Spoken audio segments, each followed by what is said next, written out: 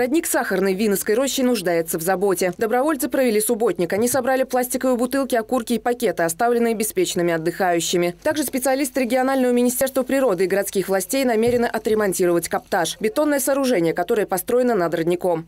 То есть то, что мы видим э, за э, бетонным э, ограждением, грунт будет сниматься, вывозиться, и на данном участке будет проведено, проведена засыпка щебнем, песком и сделан как бы замок для того, чтобы в дальнейшем в воду не попадали вредные вещества, не стекала вода, которая собирается здесь со всего склона, по которому мы спускаемся к роднику.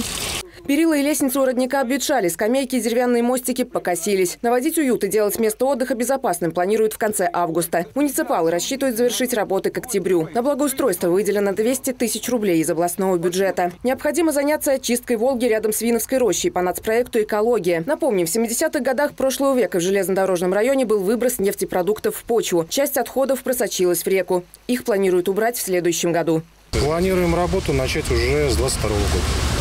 То есть, если сейчас все хорошо с экспертизами, а мы уверены, что все будет хорошо, в 2022 году мы начнем эту работу, и в 2022 году мы их закончим. Специалистам Минприроды предстоит пройти две экспертизы – экологическую и строительную. Результаты будут известны до 10 сентября. После можно будет подать заявку федералам на получение денег. Виктория Черкова, Герман Баранов. Управда ТВ.